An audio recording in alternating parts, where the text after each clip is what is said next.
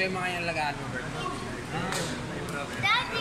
Bert, yan yung mga inalagaan mo. Anak ng ate ko. Bronze.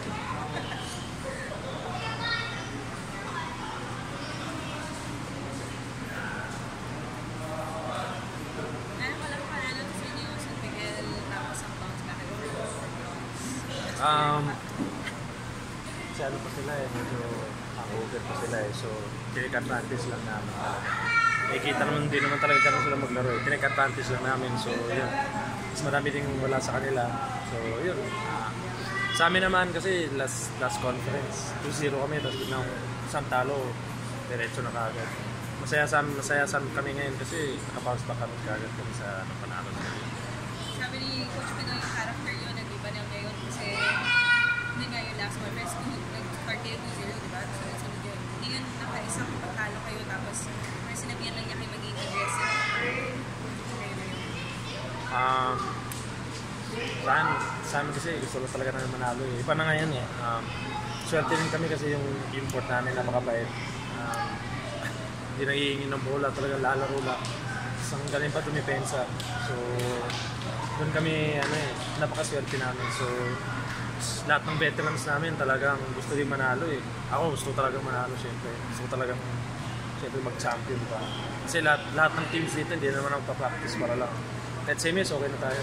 Kami iba, uh, gusto namin pumasok sa finals. Ah, kasi pag nag-set kami ng goal na mababa, wala, wala kami pangit masyado. So gusto namin championship parati. So, so yun, napakaswerte lang namin kasi yun nga first win nila. Pero um, hindi naman mawawala sa amin kasi tinalabaho namin yun. eh. So,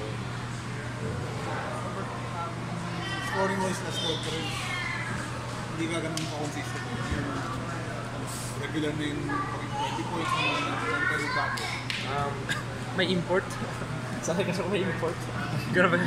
Hindi naman, um, yun, um, yun nga, sa akin experience talaga. Yung first conference, uh, yun, maganda yung start ko, tapos nag-iiba yung depensa ng ibang team. So yun, gumagawa lang ako, nagpatulong lang ako sa mga coaches coaches namin sa sa network na bigyan nila ako ng videos.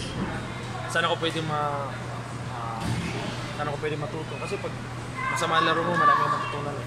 Kahit maganda yung laro mo, konti lang matutunan. So, mas dami kong bad game last conference. Sinabaho ko lang yun. Gusto ko magpasalamat kay Coach Guido, siyempre. So, buong coaching staff, na nandyan sa akin. Kahit masama ang laro ko, parati ako sila sabihin, sige lang, be aggressive lang. Sabi si Stanley, araw-araw kami nagtatrabaho, uh, nagpa-practice. And, sabi kanila mo, Sean, Paolo, lahat. Lahat ng napakaswerte ko lang talaga kasi naniniwala sila sa akin. Pag may teammates ka na ganun, sarap magtrabaho. Sa pag may import, sanay ako sa San Diego may import ko dalawa. Thank you. Okay, okay.